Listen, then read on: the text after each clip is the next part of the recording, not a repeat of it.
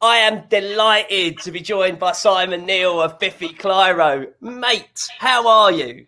I'm pretty good, Beez. How you doing, brother? Good man, good. I'm dying to get into this because literally my list of questions is like this. So I'm going to steam straight in. Let's do it, man. Um, we were just talking beforehand that I didn't get the chance to talk to you on Ellipsis. Now, what I wanted to ask you is now we're in 2020 and you've got the hindsight of each of the records in your back catalogue. Yeah. What do you make of Ellipsis? Because it felt like pretty soon afterwards you were talking about changes of directions. So I just wondered what your take was. Yeah, I, I think to be honest, Ellipsis. It's the first album where I really only thought about the songs and the songwriting. I kind of removed the band dynamic from what we were doing. You know, normally as soon as I've got a song written, I take it into Ben and James and we build it up and we kind of pull it back into like a three-piece rock and roll band dynamic. In Ellipsis, I, it was a deliberate move, but I kept a lot of the songs kind of just recordings and and we were trying to kind of feel them out in the studio which I think was a really worthwhile project. And I do really love the record. But when I listen back, it just lacks that little spark that, that our band has always had, which is kind of the more chaotic and kind of abrasive side. And I think when I'm sitting writing myself and, and just letting the melodies come, it maybe loses that next step up of the live energy that we bring. So, so certainly listening back, there's a couple more kind of abrasive moments I would maybe have inserted into the record. But um, but again, that's what keeps you coming back and making the next one. You know, if you if you felt that you need something entirely perfect, it's like, what's the point in doing another one? You know? Yeah, always so, imperfect enough, imperfect enough. That's the key. Mate, I've been using that line for years. so so the when you when you take songs in to Ben and James and you start doing your thing when you start picking the material apart and getting into it, is that where that intricate weirdness that Biffy Clyro specialise in uh, comes from. Is, is well, that where that dynamic really comes to the fore? Yeah, because because I write like I write all the music, so I kind of write the bass and the drums as well. And when I'm thinking of us as a three piece, which to be honest is how I've always written. You know, normally I'm writing. Ellipsis was the first time where I was trying to kind of escape that writing for a three piece but that's where I love just the way we trade off our, our rhythms. You know, whatever James is playing needs to kind of be reactive and, and instinctive off the back of what I'm doing, and then same with the drums. So we try. I try and kind of build the songs up as three separate parts, so that when it comes together in those moments where everything connects, it's like a real power. You know, like a punch to the face, and um, so yeah. It, and then sometimes the way Ben will interpret something I'm asking him to play you know, as soon as Ben puts his personality into the kind of ideas I have, it just it makes me hear things differently. And I think that's that's the chemistry of being in a band. You know, I think most bands have someone that comes in with the ideas and where the song should go, and then it's just in that kind of almost miscommunication that you discover something brand new, and it's it's so special. I, I never get tired of it. You know, it's you're never sure what's round the corner. Was this the first time? Did you ever consider, as a songwriter, throwing the baby out with the bathwater for the first time? Because when I when I heard that, because the thing is, because there's very distinct eras of mm-hmm. Biffy's career, it felt like okay, so this next one we don't really know what to expect. Was were you ever tempted to go real left field? Yes, I mean I'm always, you know, one of my favorite bands of the last couple of years is a band called Imperial Triumphant. And mate, the, that record fucking kills. Oh, that Alphaville album. I've not stopped yeah, playing it. It's beautiful. Well, I'm I'm still obsessed with their previous one, Vile Luxury. Right. And, and I'm actually in my time off. I'm working on two kind of more avant-garde projects. One's called Empire State Bastard, and that's going to be like it's like a grindcore kind of crusty, kind of like really doomy, almost black metal at points but really nice. ugly, really abrasive. And that's kind of inspired by like enjoying like I Hate God and Imperial Triumphant and that more really much more kind of toothsome sound, I guess. And yeah. kind of that real swampy kind of sound. And then I'm doing another project which is more of a drone project, which will be more like oh shit and sun. And that's with a couple of my other friends. And we um, one of them's like an electronic musician, and he just works in these weird, like he works with deteriorated tape and stuff. So he, will just play a tape for four days and then record onto it. So it's got this hiss and this crackle. So there's times where with Biffy, I've, I've thought about going full left field and making something really abstract. And then, you know, I still have a love of pop music, Beez. And, and I think, I feel like, I feel lucky that Biffy has the, the audience it does. And I always want to push our audience, which is why, like on this album, we've got like a song like Instant History, and then a song like Cop Syrup, which is like six minutes long, a bit more prog. It's got screaming on it. So I do like to push people to the edge, but the reality is Biffy's the home for my songs, and I don't think. I think as still as as long as I'm still writing, you know, song-based music, that'll go into Biffy, and we might do weird stuff in the meantime, but there, there's a structure to Biffy that I enjoy. I like the limitation of the three instruments, the three vocals, and then when we make the record, I kind of build on it there. But I like that limitation. You know, I always remember Jack White saying that with the White Stripes that he actually, the fact that there's only two of you means that you utilize all the ideas you have, and, I- and I still don't feel like I've, I'm out of juice for a three-piece rock Yeah. band yet. Yeah, man. Well, the thing is, like, your band fascinate me, right? The public perception hmm. of Biffy Clyro, I find fascinating. Because your, well, your your music is gloriously weird, right? If you really listen, if you listen to the canvas that you guys lay out, there's loads of weird intricacies and interesting musical shit, and mm-hmm. yet there are people who like like harder music who treat Biffy Clyro with suspicion. Like, like when you were when like what is your take on that as someone because i'll compare you to devin townsend in a minute because i had a conversation with him a little while ago that was eerily similar to what you were just saying so what's your take on how you are taken by hard rock circles It, it's strange be- be- because I grew up. You know, I mean, I grew up. I mean, we're obviously on Knotfest and Mosh Talks here, and when my, you know, I went to, I saw Slipknot in the nineties in their first tour of the UK at the Barrowlands Yeah. in Glasgow. I saw Pantera and Reinventing the Steel. You know, I've seen so many incredible records, and it's all those heavy gigs. Metallica was my first proper show. That's my education. That's where all my inspiration comes from. Is is heavy, heavy music. I appreciate that most people know us if they don't know our band inside out, they know for our singles, and our singles are big and pop-tastic. And I won't I won't apologize for that because I still love like rock set and shit, like like Fuck real yes. fucking eighties tunes. yeah So, so that's always in what we do. But I do have a mild frustration when people think that we're one thing when we're not. But I also take solace in the fact that those who know know. And I- and Yeah, I- really. And, and it gives me a sense of uh, kind of joy and, and, and inner confidence that, that people that the people in the know they do know that we do everything you know like we do as weird music as anyone hears and also as, as sweet and pretty but um, it's kind of hard to say because I guess if I could control it I would I would want everyone to think we're we're basically the mixture of Tina Turner and and Slipknot. You know like I would want everyone that loves all those bands to like us but the reality is people that maybe love Tina don't maybe love Meshuggah.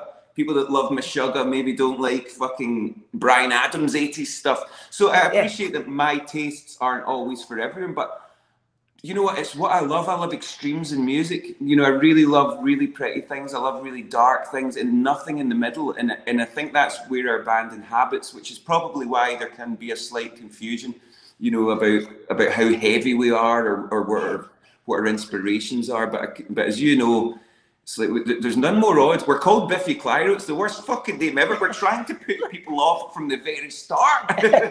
well, that, do you know what? I tell you what, I I take offence because you're not with the.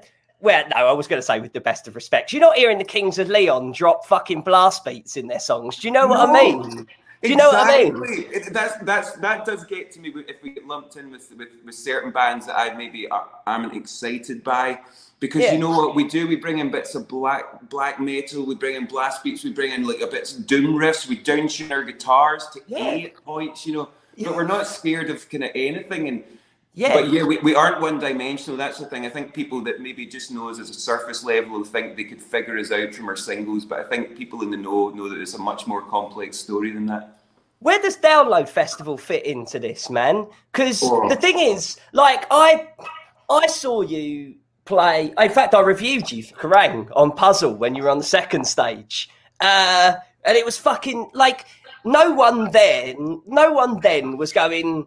Why a Biffy Clyro here? Right? It's not Mm-hmm. like it's like again. I'll, I'll tell it like it is. It's not. It's not like Muse who suddenly decided they were a rock band and turned up at Donington for a, for a year and fucked off again. Right? Biffy Clyro have lived there. Like, what's your take on that whole thing?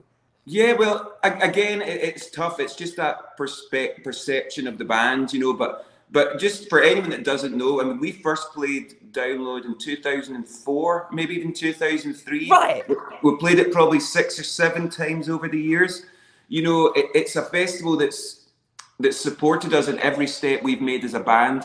It's it's a festival where all my favourite bands have played over the years, and I've been lucky enough to see them as I've been, you know, sharing the bill with them over a weekend. It's it's an honour. See when see when I see our name up there, and make no mistake, any download fans that, that don't want us there, I, I know what it is to be in that top line. I know what the what Donington Monsters of Rock was. You know, I'm not too fucking young to to forget that. You know, like, it's things like I remember the Donington Festival in the '90s when it had like Sepultura, Pantera, Therapy. You know, some of those some of those years, like Crowbar, like some of those years were just so educational to me. And as you know, I was a Kerrang reader as well, growing up. Beast, Yeah. but, but I know what I know what, what download is. I know what it means. We take it very seriously. I I understand if you're wanting Iron Maiden, we're maybe not, you know, not we're Yeah. not quite as metal. There definitely Yeah. are are more metal rather than none more metal. There's Yeah. a few a few more metal. but, but you know what? We fucking love it. And and you know what? The people that are doubting us, come and watch us. We'll fucking blow your tits off. Absolutely, mate. I've been going to the Reading Festival since 1997, and the first time you headlined is the best set I've ever seen at that Oh, festival. Ever, so ever, much. ever. Mate, I burst into tears three times in that set, uh, Oh, and that never happens to me, ever. Machines was fucking. Ah, anyway, right? Thank you so much. But- we currently have to talk about delivering your album in the weirdest part of human history, right? and you've you've you took the streaming, the live streaming idea into a terrain that I was desperate to see people take it into, like Behemoth did a week or two ago. Yes, what Like. Right? Play so the church, yeah, fucking amazing. so when you're putting together the the new record, how you're going to deliver it, and the ability to visually display that art to people in whichever ways your budgets allow, like like what was that like, and what was your attitude towards it? Because it suggests that you had a better attitude than just well, guess we've got to do something. Yes, actually, I I kind of savoured the challenge to be honest, Beez. When as every musician, and, and I'm sure yourself as well, I'm, you know, you're able to keep doing this. But the, the live thing is, it just obviously was heartbreaking for every band in the world that we had to stop playing. As soon as we stopped, uh, my mind started going like I'm a kind of worst case scenario type of person, so I, I wasn't anticipating things unfolding well. You know, I was kind of I knew Yeah. this year would be a write off. So immediately I started thinking of the visual stimulations of the album and how I could kind of transfer those songs to, to the like live arena and retain the the intimacy and intensity of a live show without a crowd, which is so fucking hard. Also, I think even if I watch like a DVD or, a- or a concert movie of my favorite band playing to 100,000 people, see after four or five songs, you kind of feel that you've got the lay of the land. You maybe start skipping to your favorite tunes and you maybe don't watch the full two hour show. I, I wanted this to be a surprise after surprise. And I really loved the fact that the liberation came from not facing one particular way. I know that sounds so simple, but see when Yeah. you're performing as a band, you're normally facing out, you're all facing the same way, and there's one kind of source. Doing this with, and we we chose to have like four different band setups, and we all kind of surrounded the room, and at different points we're in different areas. And, and that was what really got my juices flowing was thinking so we don't need to face this the same way and then i thought well that means we can move that means we can like we don't need the stage the stage becomes less important the stage is the most important part of any venue normally now it's like right well that's just a tool so so then it was just a case of letting the freak flag fly thinking of as many crazy ideas and as you say the boring shit like like budget you know worrying you know, yeah. if, if, we could physically pull it off. But but I appreciate. Thanks so much for watching, Beez. It's it's something I'm really proud of it, and I, we're going to do something with it at some point because it, it's almost as important a representation of the album and of this year.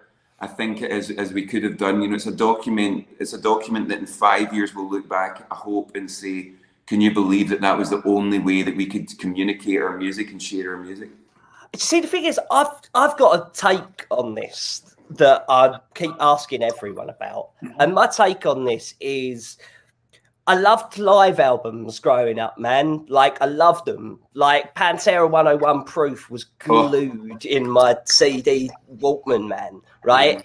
and uh, but the live album's been dead forever because people can literally get home from the show that they've watched and someone's uploaded songs on YouTube from the show they've just been to. So what is the fucking point of a live album?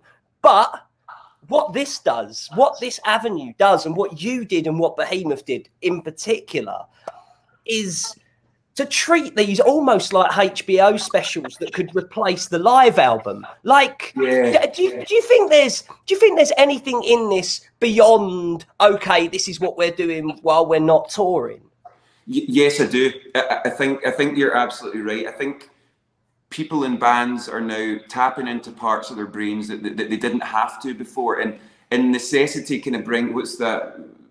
Necessity is the mother of invention you know, and it feels like people now, especially a few months in, everyone's thinking, oh, well, we now need to make this more of an artistic statement, and and the visual does become a part of that statement rather than just a documentation or a representation of the music, you know, or a kind of translation of the music. Hey, we're playing it. This is how it sounds like when we do it live. It should be more than that, and hopefully things like the Behemoth show will make people go, oh, actually, you know what? We're not limited the same way we would be if it was like just a regular live show. The tough thing is obviously the, the, the cost of, of like putting on a one-off event means that either you, you need to be maybe a bigger band to have the budget or you need to sell it as tickets and that's the things just to make you know you want to make sure that fans are happy to be involved you don't want to like exploit people but equally it's the only chance we have, certainly the next six months, to really translate live music and to share it. I do think once people tour again, that we will retain this level of creativity and the visual Good. aspect because because it's it's all out the box now. You know, I just I just think yeah, people, people now expect it to a certain extent. I don't mean in a bad way, but I just mean our lives have changed so much in the last five months, and we can't put that shit back in the box. So, so instead, let's just embrace it, and embrace the new possibilities we have, yeah. the new technology we have, and and um, I've actually found it inspiring. As disappointed and as heartbroken as I am to not tour, I'm now the next few months. I'm thinking, what can we do now? And we're already discussing ways of maybe doing previous albums in a similar way, just to kind of until we hit the road and do. You know, we've got eight yeah. albums, studio albums, so there's different ways we could represent records, and I'm looking forward to it. I keep telling anyone who'll listen, man. I want Metallica doing Master of Puppets, surrounded by the crosses and everything, man. Like, oh, why come not? on, lad. Come on, get out there, do it. I tell you what, I watched him the SM S&M two last week, and it, yeah. lovely to see them. It, I was surprised that they chose a fair few same songs. Yeah, me too. You know, just near the start, I just thought I thought there's something great, but I really enjoyed watching them. But I'd love to see Metallica. You know remember a few years ago they did that tour where they pretended that one of their crew was had died and caught in fire. Remember? Yeah, in the Load tour where he set on fire, man. Yeah, yeah. Know, like, so Metallica are fearless in that way, and they did that movie the other year, that kind of concert movie, which yeah. is weird. So I think Metallica more than anyone, they have the resources, they have the material, they have the concepts I think if as long as they're not being too lazy, boys, don't be lazy. do you think? Do you think this maybe opens Biffy up globally as well? Because Biffy feels like a British band that travels. Like, say that, say that again. It cut off there in a second piece. No worries, man. So, uh, do you think this will help Biffy out globally as well? Because Biffy are very much seen as like a British band who go to other places, if you get what I mean. Right? Yes. Does this, does this help? I, I don't really know. I mean, I guess it's especially for the states. That, I mean, I guess we do quite well everywhere, and in the states, we we kind of it's probably the place that we're not don't do gotcha. massive shows. It's I mean, I like to think that everything we do, if you do something quality, people talk about it. If you do something that is, is worth and value, people talk about it. You know, I've been doing this too long to expect any anyone to one day just go, "Wow, who are these guys? They're going to be massive." You know, I I, I don't gotcha. really care for that anymore. But I want I want people to connect connect and care about our music because we fucking do. And I still, even at this stage, not to sound obnoxious or arrogant, I believe we're one of the best bands in the fucking world and it, it, does frustrate me that we're not do, don't do better in America. But shit happens, you know. I feel lucky that we get that we're a pretty successful band in some places, considering how strange we are as well. And and actually, that's what I enjoy more than anything is the fact that we get to survive. And as we discussed earlier, we're quite an unusual band to still be in the mainstream anywhere. So yeah. you know what? I just love playing. When we come to the states, if we're playing to a thousand folk and they care as much as 20,000 folk care here, that, that matters to me because music, it's not what, it's what how music makes you feel and how, how that moment makes you feel. It's not about what's the bottom line. And I think that's Amen. what kept us going. Yeah, fucking right, man. That's all the best. All the music what? I've cared about, you know, a lot of my favorite bands and records were not popular or not successful, but they changed my fucking life, and and I'm never going to not care about those bands. Fuck yes. That, what, what is it with America then? Is it too weird, too Scottish, or too weird and Scottish? what is it? I think there's actually, I know there's a couple of things. I mean, we struggle to fit in whenever we're in like rock radio we're like not heavy enough. You, and then if mate, if, if, you write if you write a song that would fit on rock radio out here, I'm coming back to Scotland to slap you. I know, it's like we not we don't quite belong on that. Um, I hear you and we're too guitar based for everything else. Also, I mean, I've just got excuses coming out my fucking pores here, but I know no, that no, no. a biffy in America is a toilet. It's an outhouse, so we've named it oh, really? after a fucking toilet. it's a tough sell from there, isn't it? Sell. and then, and then also, like a few years ago, we really we got things kind of moving in the states, and I had a I had a bit of a kind of breakdown in tour, and I just I just hit this wall, and, and we had to cancel Coachella we had to cancel some gotcha. shows with Muse, and it was one of those. When I look back, I'm like, uh, you know, I know that's the moment where we had an opportunity to build the band, and, and, and my body didn't let me. And I look back and with with regret at that moment. But as I say, I feel I feel happy that people over there do care. If we're not mainstream, a lot of mainstream bands suck ass. So, so yeah, I hear you. I hear you loud and clear, man. I've got to ask you as well because the internet and sometimes rock fans lack a sense of humour. Um, last week on Radio One, or the week before on Radio One, right? I have never seen a look of mischief on your face quite like it as you played a cover of Megan Thee Stallion and uh, what's it? It's, it's Megan Thee Stallion and Cardi B, isn't it? Yeah, yeah. Yeah, uh, Wet Ass Pussy is redone as Wet Ass Biffy. Yeah. Um, tell me about the whole wet ass Biffy experience, man. It's, it's funny. I mean, like, we, we thought it was funny. Uh, it wasn't funny to some people. Um, we we've had a long relationship with the Live Lounge and the BBC. Yeah, and you'll know being a being a British boy. Um, so the last time we did it, we covered covered Christine and the Queens, and I did French yeah. rap. The time before that, we covered like Cheryl Cole, who's a British pop star. Before that, we did Single Ladies by Beyonce. So we have form of just covering unlikely songs. Now I've maybe misjudged what era we're in, but I, I just thought it was fun. We, we wanted to do the biggest pop song of the year, but we weren't allowed to, to do the uh, the uncensored lyrics because it was fucking lunchtime. So yeah, so so I thought it'd be, I thought it'd be funny to just tweak it to, to, as a as a tribute to our live show. If you're wet as Biffy, because anyone that's seen us live knows that we sweat like fuck. So so it was a bit of fun. It turned out to be not fun at all. no bullshit. We upset bullshit. a lot of people. No way, tiny, tiny wee garage, mate. I nearly flipped. My, I nearly flipped my desk. I was laughing so hard. Quite fun. The thing is, as well, like as far as I'm concerned, massive pop songs are fair game. See, see if you've got Absolutely. a billion, if a billion people are loving your tune. I'm afraid it's not sacred text. It's a pop song songs are allowed to be interpreted and covered. You know, I, I, didn't anticipate offense. You know, but shit happens. You know what? I'll, I, will, I will continue to cover whatever the fucking songs I want to do. Fuck yeah, man.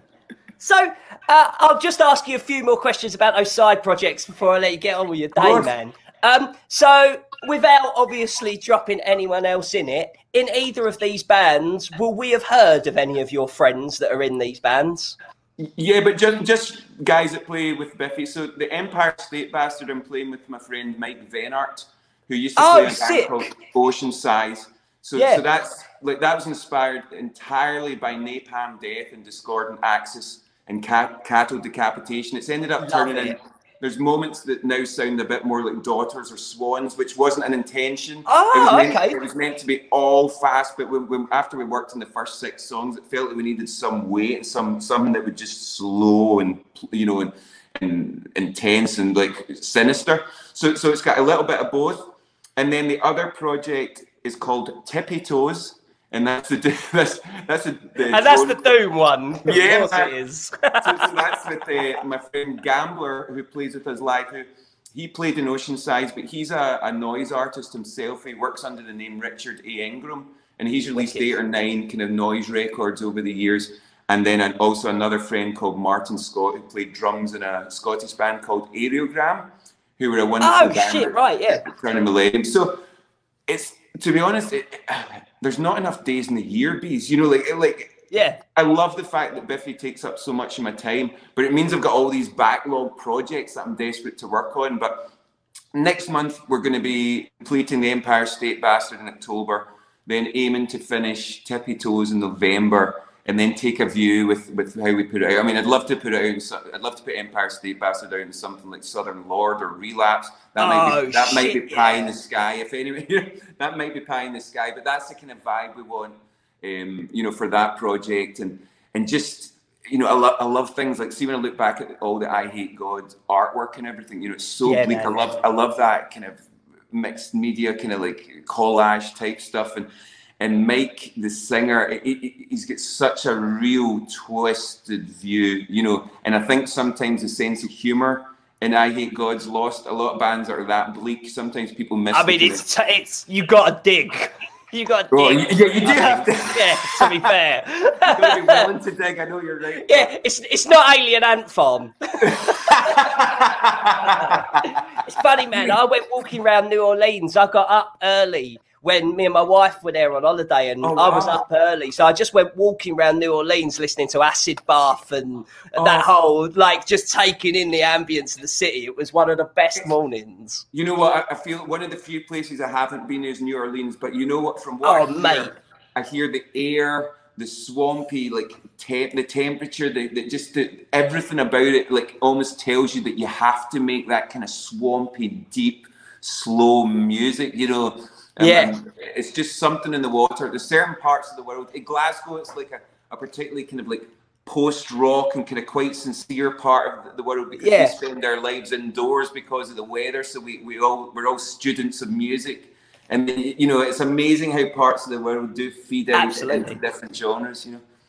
So, last question. Um, I, was, I was talking to you about Devin Townsend earlier. So, I, I always remember him saying this, and I, I feel like it's something that can be applied to yourself as well, which is he says when he writes a nice song, right, there's still a bit in his brain that goes, blah, right? that just that like just feels the intrinsic need to not make it like when you wrote and recorded Pocket.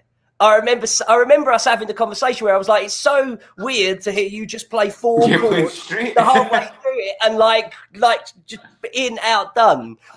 Do you, do you feel that that's something that exists in you as a songwriter? Because I I take I take offence to people like who think that it's just like they see the Simon Cowell song or whatever, and I'm here mm. to say like the only songwriter that I can think of who I could apply your mindset to is Devin fucking Townsend.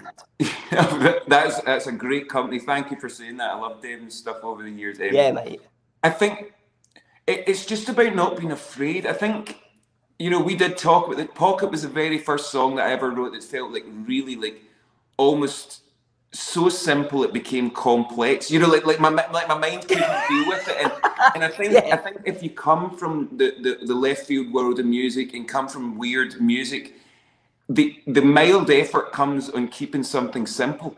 and and I think that's where that's still where I find my mild challenge is, is with certain songs. I'll think, no, this melody is doing the heavy lifting in this song. You know, I, I'm actually detracting from what's giving me the feels if I complicate this too much. And equally in different songs, it can feel like, oh, this is just, you know, it feels like it needs that sharp turn.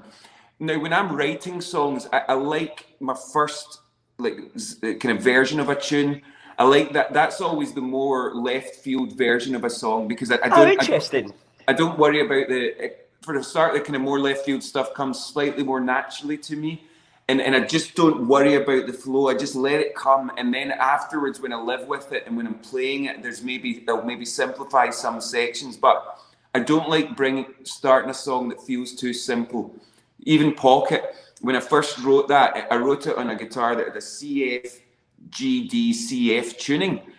And like so, so it came out as this left field, and I was writing weird songs with like just that bottom string, the C and the F just was so heavy down the bottom.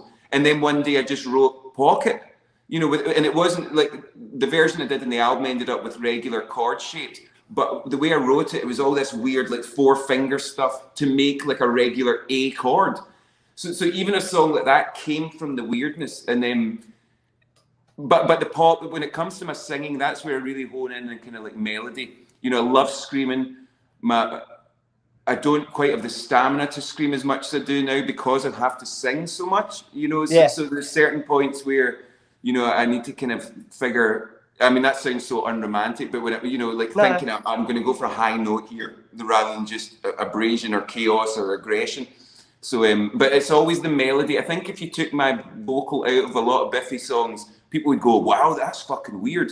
But but yeah. I, I, you know, I, I, want I want things to seem more simple than they are. I think that's a lot of my favorite band, like Peter Gabriel and stuff. His early stuff, some of it's really fucking weird, but yeah. it sounds straightforward. And that's how I feel with Biffy songs. If, if you're to sit down and try and play a lot of our songs, you wouldn't make it to the end of the first verse because you don't realize we're missing beats, we're playing weird chords, things are moving in weird places but it feels natural. So so that's always my aim is kind of like something that's odd and trying to make it feel like it was meant to be that way, you know. Uh, mate, like I cannot wait for the next time we get to chat. When those side projects come out, come back and we'll talk fucking. Oh, I'd love that. Rains. I tell you, I'm jealous of you in Hollywood, though. You motherfucker. I'm so jealous. Mate, well, I hope the world opens up and we get to see you again. Don't forget, a celebration of endings is out now. Get in the description below where you can check out all things Biffy Clyro. And uh, yeah, I do hope that that live stream sees see, sees the light of day. Yeah, we're gonna do something. We'll, we'll figure out some way if we DVD at some point or we stream it on, on online in a platform or somewhere. Figuring out a few things. But thanks so much. Thanks for the support, Brilliant. my brother, as well. Always appreciated. You got it, man. Uh, they will be blowing a hole in Donington Park at Download 2021. See you next time, Simon. Thanks, Beef. Don't forget to like and share this video and join me on Twitch every Tuesday, Friday and Saturday for guest hangouts, new music votes, tier lists, band specific competitions, weekly merch roundups and much, much more. That's twitch.tv forward slash mosh talks. Find the link in the description below. Don't forget to subscribe to this channel and I'll see you on knotfest.com for all of the latest news, features and much more from the worlds of rock, metal and beyond bond.